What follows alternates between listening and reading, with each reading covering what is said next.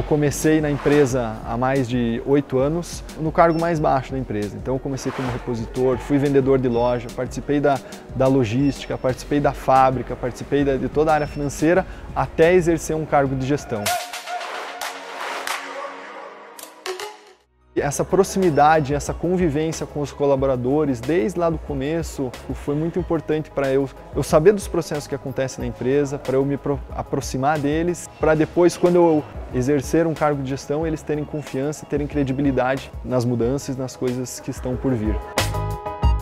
A expectativa da Tintas Virgínia com a sucessão familiar é que a gente faça essa transição, faça essa sucessão de uma forma bem tranquila e bem natural.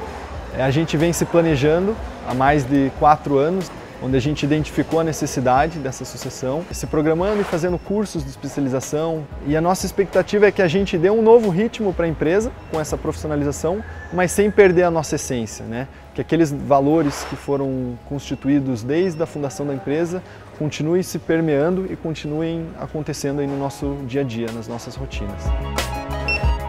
Nosso principal desafio como empreendedor seria ter um equilíbrio maior entre corpo, mente e alma. Muitas vezes acaba dando muito foco para o trabalho, acaba esquecendo da parte física, isso inconscientemente acaba afetando na nossa parte aqui profissional também. Esse é um dos maiores desafios, né? Acho que trabalhar com as pessoas e antes de trabalhar com elas, trabalhar com nós, nós próprios mesmo.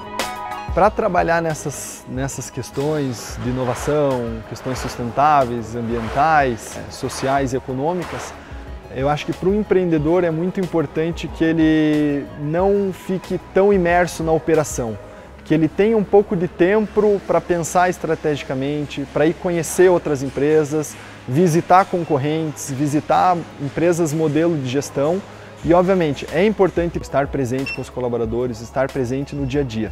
Isso é extremamente importante, mas o mais importante é também você estar com, com a mente aberta e pesquisar novas tendências, ver o que, que o mercado está fazendo e, com base nisso, trazer informações, trazer ideias, envolver as pessoas, envolver a equipe para que isso se implemente dentro da empresa.